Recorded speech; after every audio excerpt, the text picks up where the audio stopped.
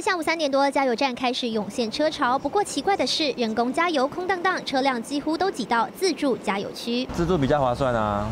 相对划算呐，自助啊可以省一点啊，现金好像省八八毛还是一块，能省多少是多少。因为九月油价涨不停，以中油九五无铅汽油来说，九月三号每公升三十点七元，一连十号、十七号两周都各涨一次。如今在公布十月一号起，每公升涨零点五元，来到三十一点五元，一个月涨四次，是近四年来新高。油价创新高，业者为了要维持盈利呢，特别推出只要用指定的联名卡，再加上自助加油，最高每公升可以省到三点二元。不仅自助加油每公升省三点二元，人工加油搭配指定卡也能每公升省三元。以填满五十公升油箱来说，就能省下近一百五十元。很多人用这个吗？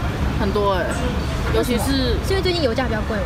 对，因为它越涨越贵。担心没指定卡的话，还有业者推出只要使用行动支付，就能每公升省三点二元。推出后冲出近万笔交易，业者决定延长活动。三点二还算不少吧，百分之十啊。那当然好啊，当然好啊，这当然。